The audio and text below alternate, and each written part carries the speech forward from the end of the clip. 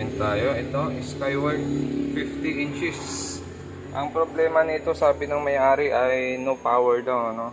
Siguro wala siyang ilaw dito sa standby power niya. So check natin, tingnan natin. Ito yung kanyang main board. Tapos ito yung backlight driver naman niya. At ito naman yung power supply nito. So, tingnan natin kung ano ang issue nito, kung mayroon ba tayong standby power dito or wala talaga siyang power. Okay, so ito na isaksak na natin siya sa AC outlet natin. Uh, check tayo ng filter natin kung may makuha tayong supply sa filter niya. Kahit dito sa malaki.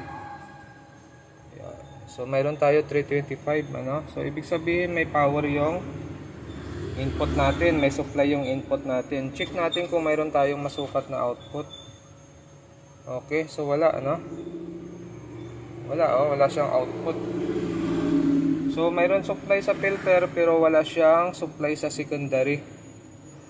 Okay, so tanggalin natin yung power supply board muna, check natin yung ilalim nito.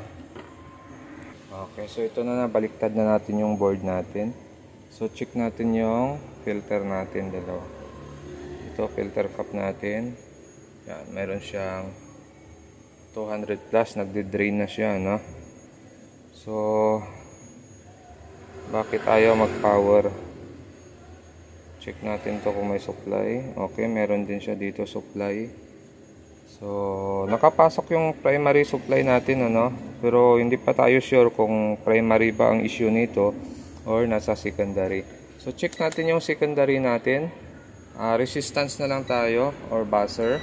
Yan, buzzer tayo. Check natin tong diode. Okay, so open itong diode na isa. Okay naman, hindi naman short. Itong isa. Okay rin. Open din, hindi rin short. Ano, wala din siyang load na short. So parehas silang normal. Yan, normal. Okay. So, ibig sabihin, nasa primary yung problema natin. So, alamin ngayon natin kung bakit ayaw mag-trigger yung primary natin para magkaroon ng secondary supply. Check natin kung lahat ba ng supply na required ng ating driver ay mayroon ba. Okay, so chinek natin yung supply na nanggagaling dito sa positive ng filter cap natin tatawid yan dito. So, dapat may mga supply ito. Ito may supply to 0.2. Pero ito 0 ang out nito. Dito may 18 siya. Pagdating dito, wala na siyang supply na lumabas. Ito mayroon din siya. Nasa 3. 3 volts ang pumasok dito. Okay, so balak ko sana tanggalin. Ano, may na-discover ako isang circuito. So may isang circuit niya na nanggagaling sa 400 volts niya. Pumasok dito. Dumaan sa isang resistor at pumasok dito sa uh, pinakadulo ng IC. So, binunot natin yung resistor ano, ito. Ang value niyan ay brown, black, orange. So, so nasa ano lang siya, 10k ano? 10k lang ang value nito. Okay. So, nagtaka tayo dito. Susukatin natin ha. 10k ang value. Tapos, naka-zero na yung tester natin. Yan. So, sukatin ngayon natin ito.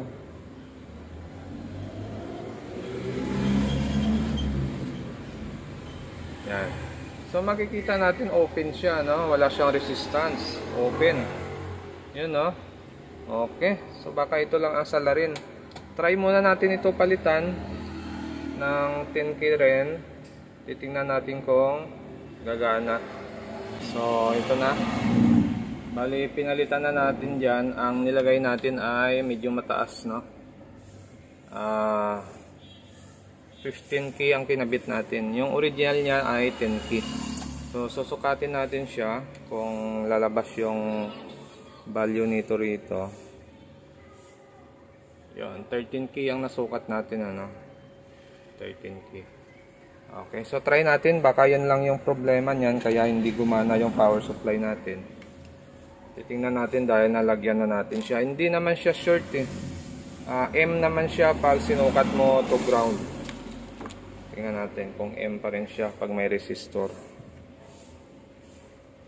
Kahit dito lang. To ground. To ground na to. So nakakasukat tayo ng K naman siya oh. Makyat naman siya, no? So, hindi naman sira yung circuit nito. Dahil tumataas naman yung resistance niya. Okay?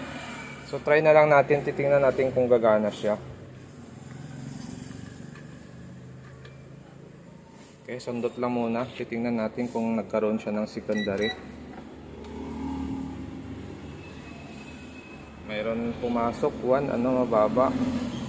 Mayroon dito, tumaas to. 0.2. 0.2 ang pumasok dito sa taas. Ibig sabihin gumana siya, no? Okay, so negative. Kahit nagpalit tayo ng resistor, ibig sabihin niyan talaga may tama yung driver nito kaya bumigay yung resistor natin diyan, ano?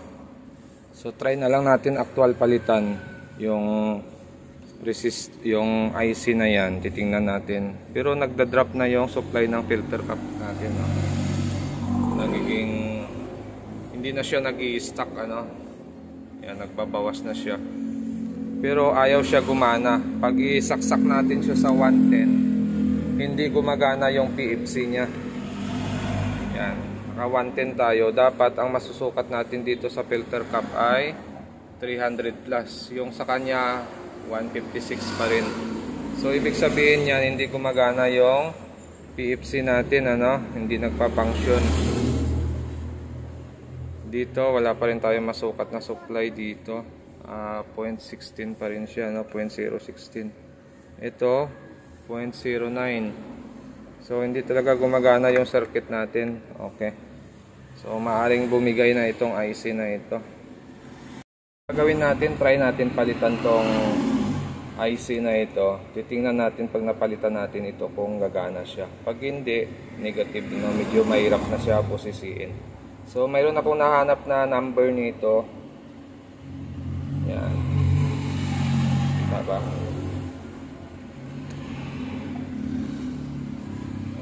Bali, yung number niya ay T1755T. Okay, so mayroon tayo nahanap itong isang power supply ko. Skyward din ito. Yan, T1755T. So, parehas sila, no? So, try natin yan. Ito kasi malaki ito eh. Ito medyo fit kasi ito doon sa pinaka-housing niya. Pag, pwede rin siya i-convert sa ibang power supply. Ano? Pwede siya gawa ng paraan. Or pwede din natin to i-forwards. So try muna natin ibalik yung dati niya parts. No? Try muna natin siya i-repair. Baka makuha naman natin pag nagpalit tayo ng IC. Pag nagpalit tayo ng IC tapos ayaw pa rin, ibig sabihin may mga maliliit na parts na uh, damage. So medyo mahirap na po titingin yun. Mauubos na yung oras natin yan sa pag-isa-isa ng parts. So try lang muna natin palitan yung IC. natin pinalitan na natin yung pinaka-IC niya.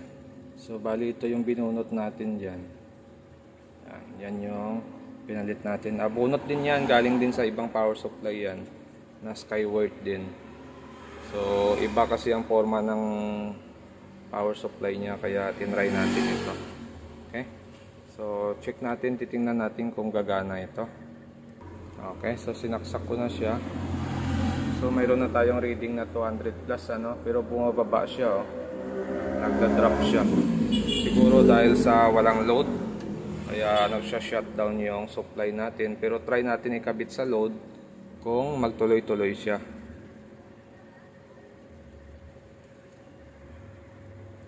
Okay, so kinabit natin yung load natin tapos sukat tayo ng supply. Check natin kung mayroon. So mayroon siyang 12 ano. Tapos yung isang supply niyan ay 24 naman. Yun, mayroon din siya 24. So makikita nyo mayroon na siyang standby power. Tapos check natin yung filter natin kung nagpa-function yung PFC niya. So hindi gumagana yung PFC niya pero may 12 pa rin tayong nasusukat dito. So, gagana siguro yung PFC nito pag nag-power on ang unit. Okay, try natin i-power on.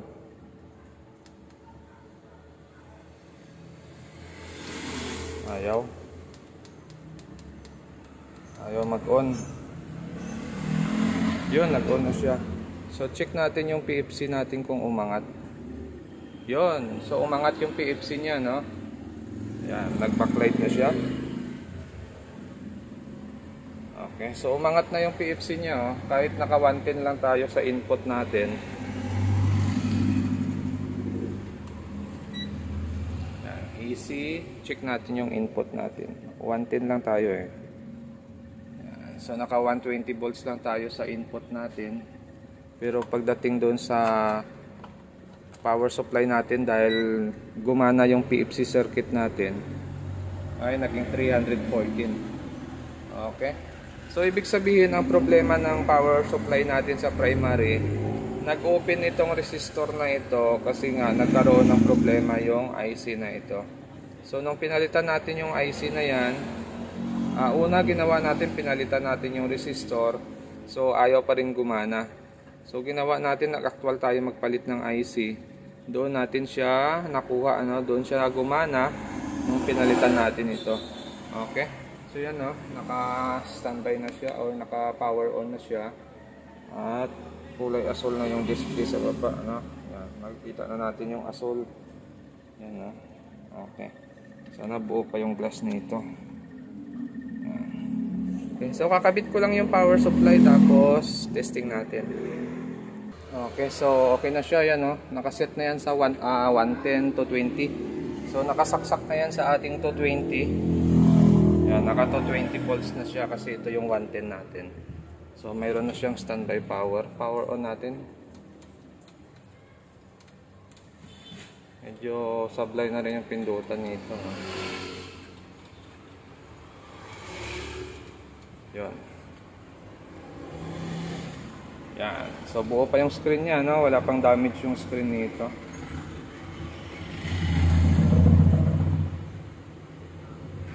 Okay, so po-program pa natin yung TV Plus natin. So yun lang naging problema niya, isang resistor na 10K, pinalitan natin ng 15K. Tapos isang driver IC na T1755T ba yun? Okay, so nung pinalitan natin yung dalawang parts na yun ay nagnormal na yung power supply natin. Okay na siya. So hanggang dito na lang yung video natin at kung bago lang kayo sa aking channel, huwag kalimutan mag-subscribe sa susunod ulit natin na video.